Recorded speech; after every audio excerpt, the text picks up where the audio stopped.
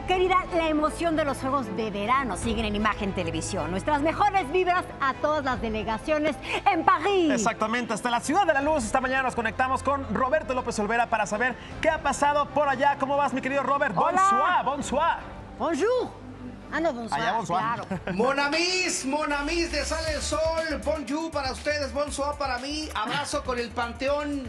Emblemático edificio, monumento para los franceses, los saludo con mucho gusto. ¿Y qué ha pasado con los nuestros, los mexicanos, en estos últimos momentos? Bueno, se aseguró ya una medalla, la cuarta para la delegación nacional, después de que el pugilista, el boxeador Marco Verde, accedió a las semifinales, asegurando ya medalla de bronce. El día de mañana estará enfrentando al inglés Richardson para poder acceder a la lucha por la medalla de oro. Y en otros temas muy interesantes, atención, hace unos momentos las clavadistas mexicanas Ale Orozco y Gaby Agúndez accedieron a la gran final, a la lucha por las medallas, esto en la plataforma 10 metros.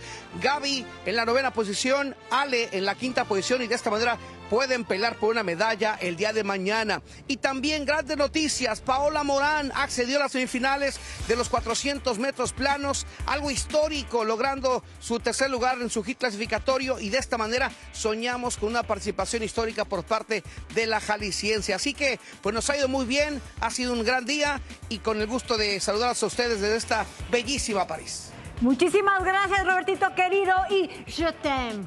Je Je t'aime. Je t'aime. ¡Ya te amo, mi Pau! Besos. ¡Rafa, abrazote! Besos, besos. Y mañana nos conectamos para saber más de esta justa deportiva. Gracias. Gracias, querido. Vamos por la de oro. Vamos, por la Vamos de oro. por la de oro, Buena vibra. familia. Eso.